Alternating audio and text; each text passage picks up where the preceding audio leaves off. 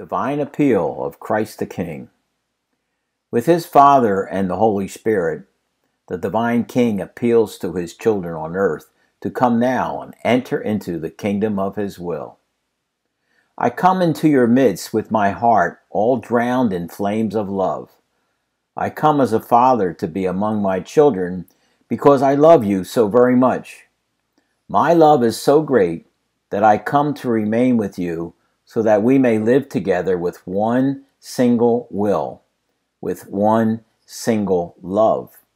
As I come to you, I bring with me my pains, my blood, my works, and even my very death. Look at me. Each drop of my blood, each of my pains and steps, and all the things I did compete with one another because they want to give you my divine will. Even my death wants to give rebirth to the life of my will in you. I have prepared everything for you in my humanity, and I have prayed for and obtained graces, helps, light, and strength for you to receive the gift so great. On my part, I have done everything. So now I am waiting for you to do your part. Who would be so ungrateful as to turn me away and not welcome the gift I am bringing to you? Know that my love is so great that I will forget about your past life, your sins, all your evils, and I will bury them in the ocean of my love to burn them all away. And then we will begin a new life together, all of my will. Who would have the heart to refuse me and send me away without accepting my visit, which is so full of a father's love. But if you will welcome me, I will remain with you as a father in the midst of his children. Then we must be in the greatest accord and live together with one will alone. Oh, how much I long for this! How I moan, how I cry, even going into delirium and weeping because I want my dearest children to gather around me and live with my very own will. It has been almost 6,000 years, and my humanity has sighed so much and shed so many bitter tears because I want my children to come back and live together with me. I want them around me to make them holy and happy again. I weep and weep as I call to them to come back to me? Who would not be moved to compassion over my tears and my love, which goes so far as to suffocate me, even choking me? Among sighs and agonies of love, I go about repeating, My children, where are you? Why don't you come back to your father? Why do you go away from me? Why do you want to wander about poor and full of so many miseries? Your misfortunes are wounds to my heart, and I am weary of waiting for you. And since you do not come back to me, I come in search of you because I can no longer contain the love that consumes me, and I am bringing you the great gift of my will.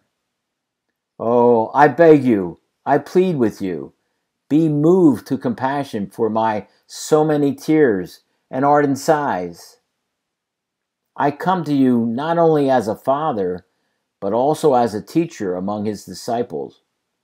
I want you to listen to me because I will be teaching you surprising things, lessons of heaven, which will carry with them a light that will never go out and a blazing love which endures forever. My lessons will give you a divine strength, an invincible courage, a holiness which keeps growing more and more. These lessons will light the way for your steps and will guide you along the way to your heavenly fatherland. I come as a king to live among his people, but not for the purpose of levying taxes and heaping burdens upon you. No, no. I come because I want your will, your miseries, your weaknesses, all your evils. My sovereignty is really this I want everything that distresses you and causes you to be unhappy and restless so that I can hide it within my love and burn it all away. As the beneficent, pacific, and magnanimous king that I am, I want to exchange my will for yours, filling you with my most tender love, with my riches and happiness, with my peace and most pure, pure joy. If you will give me your will, all will be done just as I have said. And you will make me happy, and you will be happy too. I long for nothing else than for my will to reign among you. Heaven and earth will be smiling at you. My heavenly mamma will be sure to be a mother and queen to you. She knows the great good that the kingdom of my will will bring to you. And in order to satisfy my ardent desires and to stop my weeping, and because she loves you as her true children, she is traveling amongst the people of the nations, disposing and preparing them to receive the dominion of the kingdom of my will.